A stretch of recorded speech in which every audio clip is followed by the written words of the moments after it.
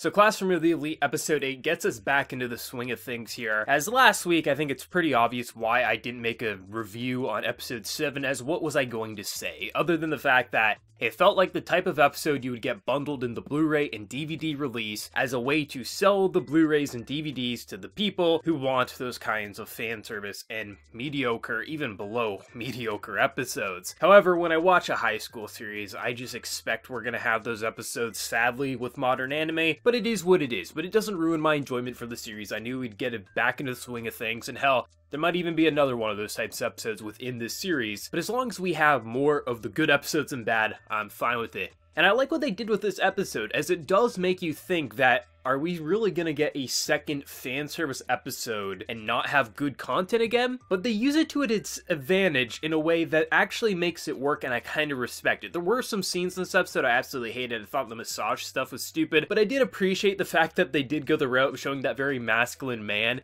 and they kind of went into like a kind of fake out with that. I thought that was kind of humorous. I was like, okay, at least they are not just doing this on the female body. At least they are doing something else here. They're giving everyone a chance to have their fan service moment, even if some of it is for comedy. But I appreciate it because even though I wasn't sure where they're to go with this because we're on summer break, we're on this expensive yacht, it seems like everything's peaceful. But this is a series that every time I watch an episode, I think there's more than meets the eye than what I'm just seeing on screen. So I thought they were going to do something. I mean, I know himself well as Horikita says, like, there's got to be something else going on here. There's no way this is just going to be our summer vacation. But I didn't expect them to go the route of a survival test, where they have to survive on this island for a week on end. And it's going to be very interesting because all of the classes are going to be on this island, but at the same time they're going to be tested, but we don't know how they're going to be tested. And that makes me very excited because I'm wondering if it's going to happen like it's not just going to be Class D working with Class D, but I'm wondering if there's going to be some alliances that are going to get made, if one's going to try to outmaneuver the other, things like that. And it's going to be interesting, but I'm really getting some Lord of the Flies vibes right now. Like, I feel like things are going to go very wrong in this island, and I'm very excited to see what they're going to do with it. But I thought the way they used this episode to slowly build up to the ending, which is going to be the amazing stuff next week, I thought it worked in its favor, even though it was just them on the boat. It's like, at the end of the day, we're watching students in a pristine school who are at the best of the best, and things are going to go weird. So even when we are in these types of scenes, that doesn't necessarily ruin an episode for me,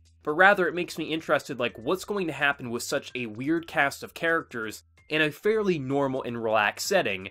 And this is what we get here. We get it turned into a survival game and also some drama and tension off and on. But I have to say, I actually really like the stuff at the very beginning of the episode where we have Aino and his teacher, and essentially the teacher saying, like, hey, someone called me and said, we need to expel you. And he's like, alright, I mean, I'm a student, you can't just expel me for no reason. Yeah, you're right, but I mean, if you cause issues, we're gonna have to expel you, but I'll tell you what. If you work your ass off and try to get to Class A, we won't have to have any issues with you and I'll cover for you. And then I was just like, I'm not gonna go to Class A. And she's like, well, you're gonna get expelled. And I love his kind of like snap reaction because I know himself is also a fake persona. The way that he shows himself to like his classmates and the outside world isn't truly who he is. The times that we've seen him snap, it's been very few. We know he is a someone who's broken. We know he's in some sort of experimental facility, and obviously he must have been very skilled at. Maybe he ran away now that he's in the school, they can't touch him. It's hard to say exactly what's going on, but essentially it seems like the school's going to be his shield from probably his past life.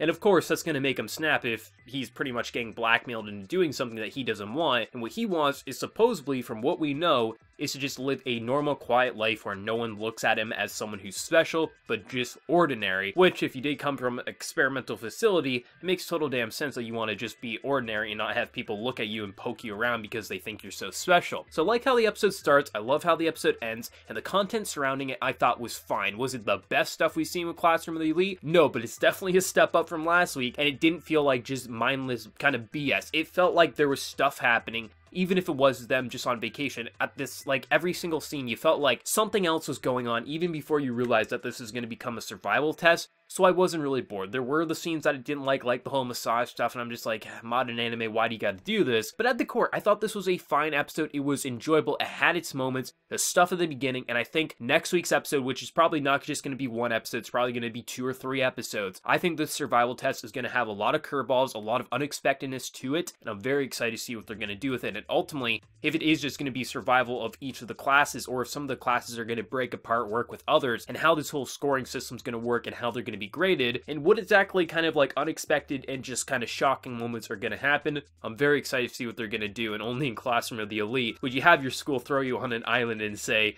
good luck for a week and we'll see you then. But I did enjoy this episode at the core, but let me know your thoughts down in the comment section below. What did you think of this episode, and what are you thinking is going to happen during this survival test next week? What do you think ultimately is going to go down? Let me know some of your thoughts and theories down in the comment section below. And before you leave, smack that like button, to show your support. If you're new channel, be sure to subscribe. So until next time, everyone, please take care and have a good one.